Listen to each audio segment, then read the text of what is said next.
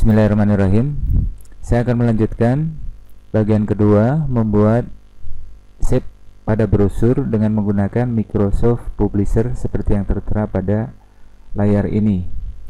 Langkah yang pertama silahkan buka terlebih dahulu untuk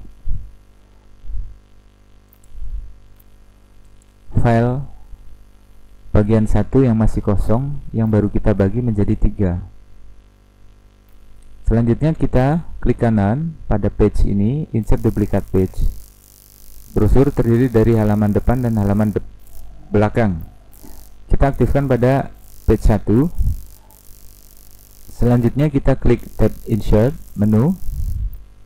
Pilih pada building block border and action. Scroll ke bawah. Jika tidak ditemukan, kita klik more scroll ke bawah. Saya akan membuat suatu open border seperti ini. Double klik dua kali. Kemudian kita akan atur tinggi lebarnya sesuai dengan ukuran kanvas pada A4 yaitu high 21 cm kemudian untuk weightnya 29,7 cm klik OK kita rubah warna ini dengan cara klik pack design sesuaikan dengan warna yang anda inginkan pada same kita lihat. Untuk pilihan lain klik pada arrow ini more.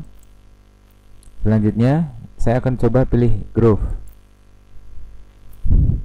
Setelah jadi seperti ini kita tekan keyboard Ctrl X kita cut. Kemudian kita akan membuat shape di tengah ini. Insert shape dengan menggunakan rectangle. Arahkan persis seperti ini. Lepas. Kemudian kasih warna yang pas dengan yang tadi kita buat. Shape outline nya kita pilih none selanjutnya lepas kursor di sini Ctrl V paste.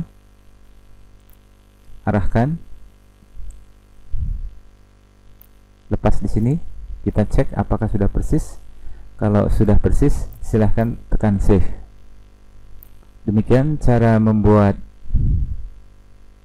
shape untuk halaman brosur dengan menggunakan Microsoft Publisher versi 2013 selamat berlatih semoga bermanfaat